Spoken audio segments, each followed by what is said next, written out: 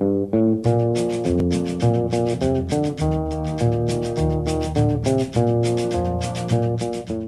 guys, what's up? It's Spaz. I'm finally at the British Beer Company.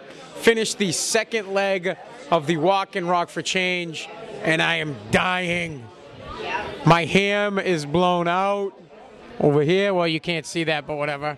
My foot hurts. I'm freezing. My hands are cold. It's bone chilling out. But you know what, though? I'm very excited because it's time to drink some Three Olives vodka and neg some ladies.